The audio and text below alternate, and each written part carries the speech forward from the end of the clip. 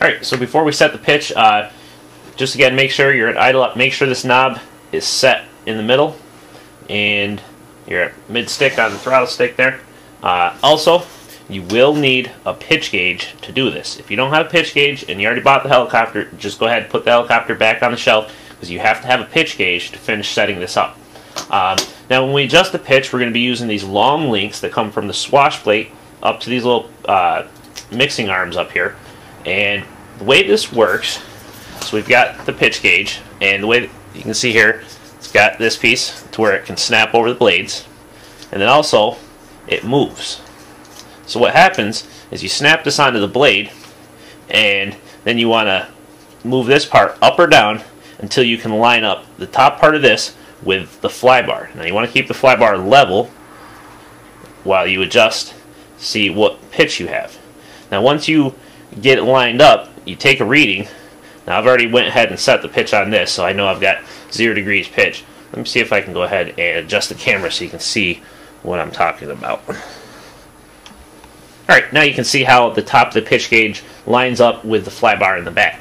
And then you can just see the reading here, I've actually got half a degree of negative pitch. Not really worth worrying about because we're going to adjust for blade tracking here in a little bit, and we're going to end up adjusting the same links that you use to adjust for pitch. Um, so that's actually going to change a little bit, possibly.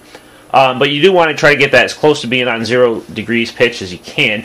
Uh, now, if for some reason you have negative pitch, you know, too much negative pitch, and you're reading it, you know, and you got, say, negative four degrees pitch, you're going to use these long links on the front to adjust it. And if you had negative pitch, what you would want to do is you'd want to lengthen this, and that's going to push up on here, pull down on the back, and, and give you more pitch. If you want to decrease the pitch on the blades, you want to shorten this, and that's going to pull this down, pushing up on the back and giving you less pitch on the blades.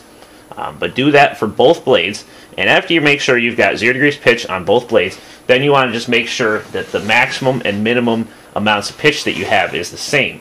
So just bring it up to maximum, take a reading. You should have, uh, according to the eSky manual, you should have 7 degrees pitch. Then you want to go down to the uh, maximum negative pitch you can go and take the same reading. And again, you should have 7 degrees. Um, and do that for both blades, and then we will come back and just check for blade tracking real quick.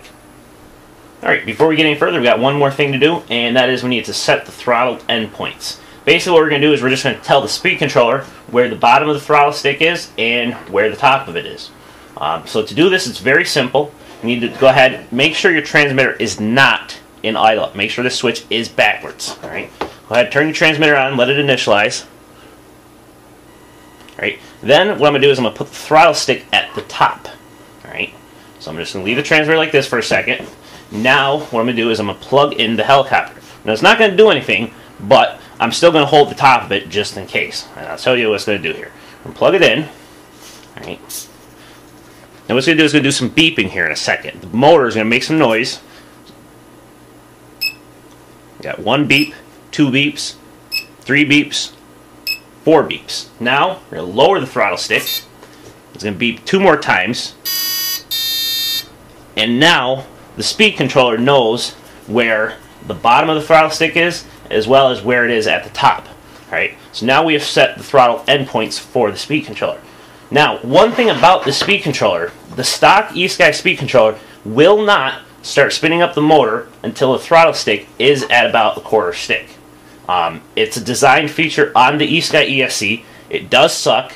Um, it's not supposed to be that way. Well, as far as like when you replace your speed controller, the blades will start spinning as soon as you start moving your throttle stick. The eSky speed controller, that's never going to happen. It'll always be like this. So be prepared for that. Let's see here. But now you get to about quarter throttle stick, that's when it's going to start spinning.